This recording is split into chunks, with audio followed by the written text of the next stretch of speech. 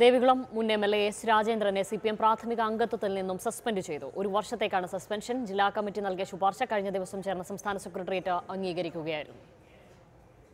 ദേവികുളത്തെ ഇടതുമുന്നണി സ്ഥാനാർത്ഥി എ രാജയെ പരാജയപ്പെടുത്താൻ എസ് രാജേന്ദ്രൻ ശ്രമിച്ചുവെന്ന് പാർട്ടി കമ്മീഷൻ നേരത്തെ കണ്ടെത്തിയിരുന്നു. ഈ റിപ്പോർട്ട് ചർച്ച ചെയ്ത ജില്ലാ കമ്മിറ്റി രാജേന്ദ്രനെ പാർട്ടിയിൽ നിന്ന് സസ്പെൻഡ് ചെയ്യാനാണ് തീരുമാനിച്ചത്. ഇത് സംബന്ധിച്ച ശുപാർശ ജില്ലാ നേതൃത്വം സംസ്ഥാന നേതൃത്വത്തിന് ഒരു മാസം മുമ്പ് കൈമാറിയിരുന്നു. കഴിഞ്ഞ ദിവസം ചേർന്ന സംസ്ഥാന സെക്രട്ടേറിയറ്റ് ഈ ശുപാർശ അംഗീകരിച്ചു. രാജേന്ദ്രനെതിരായ നടപടി മൂന്നാർ ഏരിയ കമ്മിറ്റിയിൽ സി റിപ്പോർട്ട് ചെയ്തു. പാർട്ടി നടപടി അംഗീകരിക്കുന്നുവെന്ന് വ്യക്തമാക്കിയ രാജേന്ദ്രൻ എന്നാൽ കമ്മീഷന്റെ കണ്ടെത്തലുകൾ നിഷേധിച്ചു.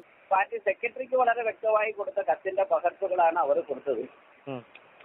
പാർട്ടി ജില്ലാ കമ്മിറ്റി ബഹുഭൂരിപക്ഷമായ ഏകകണ്ഠേന ഒരു നിലപാട് എടുത്താൽ ആ നിലപാട് പിന്നെ അംഗീകരിക്കുക എന്നുള്ളതല്ലാതെ വേറെ പറ്റും. പാർട്ടി പ്രവർത്തനം അവസാനിപ്പിച്ചുവെന്നും രാജേന്ദ്രൻ വ്യക്തമാക്കി. മറ്റേതെങ്കിലും പാർട്ടിയുമായി സഹകരിക്കുമോ എന്ന ചോദ്യത്തിന് വ്യക്തമായ മറുപടി നൽകാൻ രാജേന്ദ്രൻ തയ്യാറായില്ല.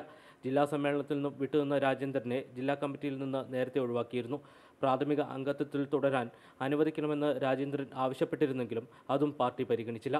ജയനസ് രാജു മാതൃഭൂമി ന്യൂസ് ഇടുക്കി.